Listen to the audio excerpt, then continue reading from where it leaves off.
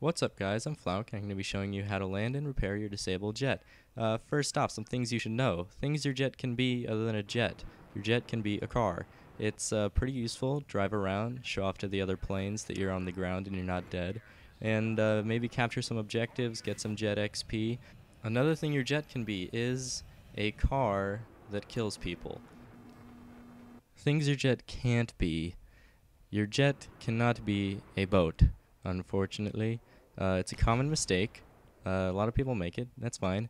Uh, good places to land. Uh, good places to land are like a large flat area, somewhere nice and roomy. Bad places to land, a mountain. Landing right side up, uh, you probably think that it's a required thing, but you know, it's your jet. Do whatever you want. It's optional. Um, you don't have to. Just do whatever you want. Your jet, your rules. Uh, landing on a small target what you're going to want to do is you're going to fly low enough to drop your landing gear before you get there so you can slow down enough. Uh, for aiming, your nose up lands you farther, nose down lands you closer, and you're going to want to hold the throttle down the entire time. But you got to make sure that you let the jet come to a complete stop before you get out, or else this happens.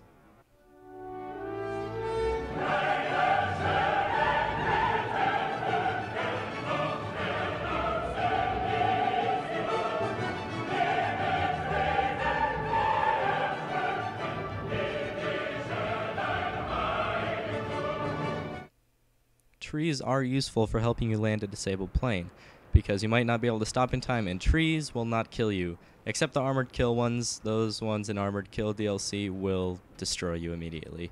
But yeah, uh, trees help you stop really fast. They're really useful for landing. If there's any near you, definitely use them.